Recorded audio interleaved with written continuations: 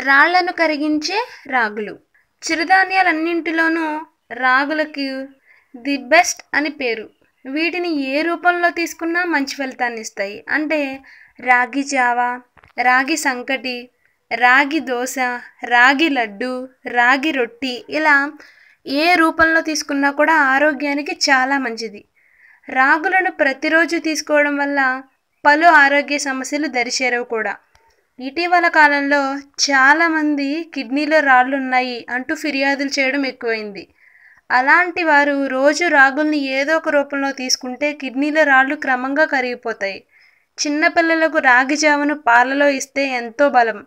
రాగులతో calcium iron ఇతర ఖనిజాల లోపాలని సవరించుకోవచ్చు.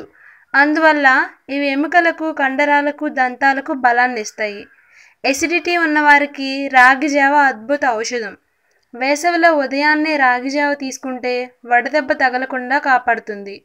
రాగులలో కాల్షియంతో పాటు ఫైబర్ కూడా అధికంగా ఉంటుంది.